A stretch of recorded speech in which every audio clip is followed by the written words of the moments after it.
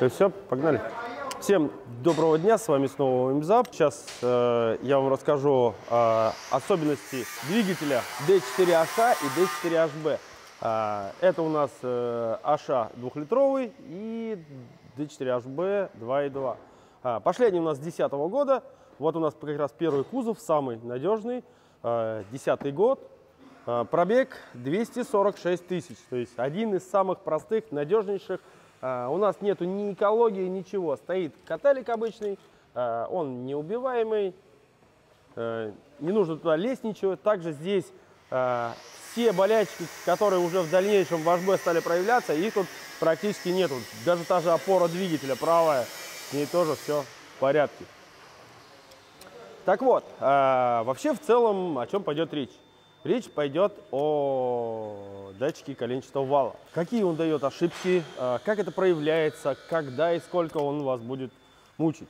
А, вообще, в целом, а, идея по поводу вот этого всего рассказа пришла, потому что люди приезжают, вот сейчас здесь указано, диагностика АКПП, пинается, дергается, глохнет машина, там на скорости э, экстренная торможение, то есть а, пинок сзади, спереди.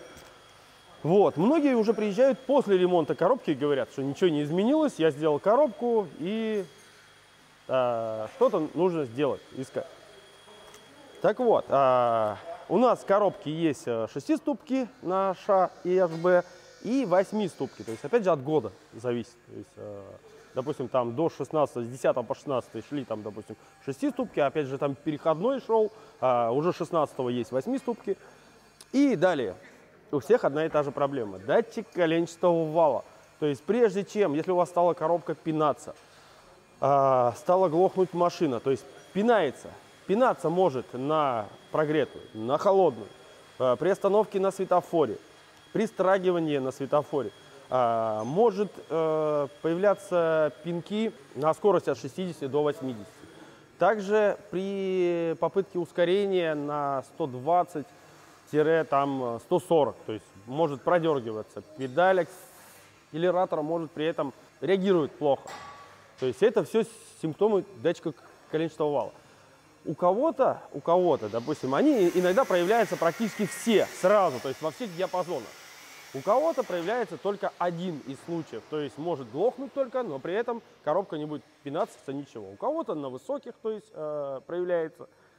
И, как уже было ранее видео, э, говорили, что э, датчик коленчатого вала у всех по-разному. Вот в среднем, знаете, он вас может до тех пор, пока он вам даст знать и даст ошибку, что он сломался, может пройти год-три.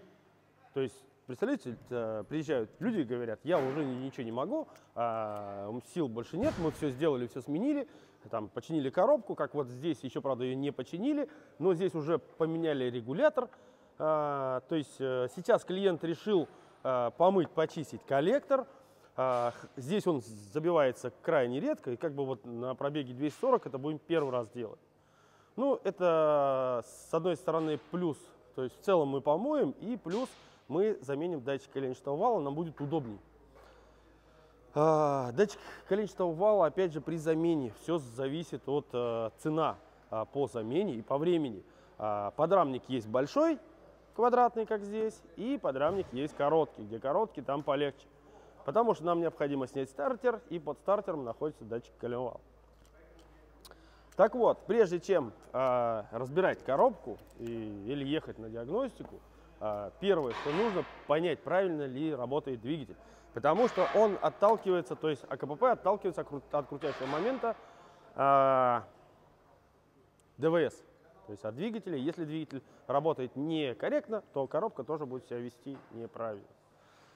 Что? Здесь, допустим, мы сейчас, э, получается, у нас коллектора забиваются на евро пятых и евро шестых. То есть, опять же, вот евро четвертый это крайне редко, а евро пятый уже, допустим, пробег там 100-150, на евро шестых мы уже моем каждые 50-70 тысяч.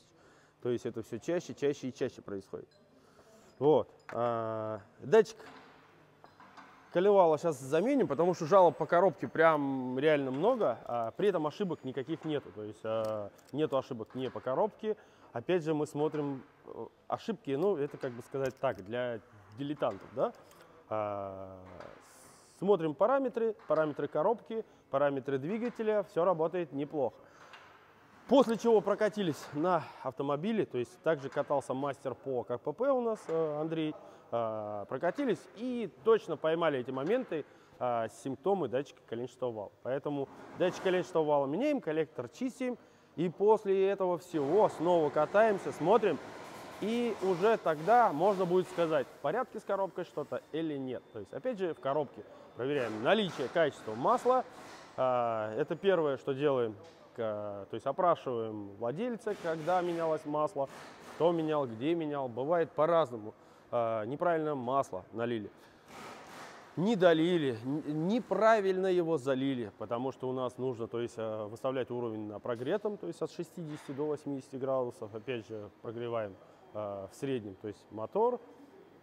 Вот. И обязательно это происходит в паркинге и на запущенном двигателе. А, потому что есть моменты, когда люди не знают, что двигатель при выставлении уровня ВКПП нужно заводить.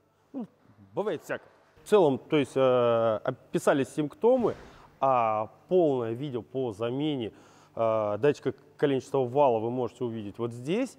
Ну что, всем пока. Э, смотрите новые видео, э, будем снимать.